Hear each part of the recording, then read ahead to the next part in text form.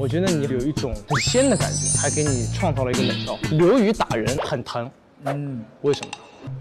为什么？因为啊，嗯你这个是仙人掌，仙人掌，仙人掌，哇，可以吗？正好跟你前面说的呼应，你呢，能不能教我几个古代人啊是怎么做的？先把衣服这么兜一下，好，兜一下了，对吧？嗯嗯坐下来的时候，你要感觉有一股仙气运着，嗯先快，唰刷到这里，嗯。不要坐下来哦，嗯不要坐下来。慢慢的，嗯。有个 slow motion，slow motion。感受到没？我感我臀部感受到了这个的温度，是。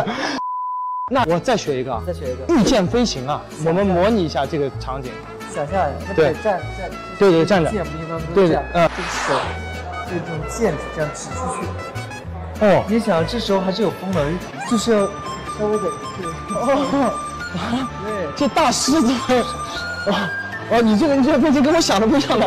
我的御剑飞行是站着不动的，就是那种站在一把剑上，然后就很帅的那种。那是大师的感觉，大师感觉还没有到那个啊，我们我们是这种小白，也有一样礼物要送给你。感觉像是吃的。不是一把扇子。哇哦，这个花很好看啊！你知道这个花有讲究哦，你是刘宇，这个是蝴蝶，什么意思呢？就是雨蝶。我向你飞，你为我最后再教我做一个开扇的动作。嗯。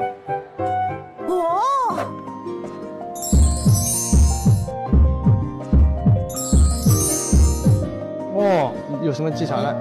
这个四个字哦呦，懂了，这里四个指头。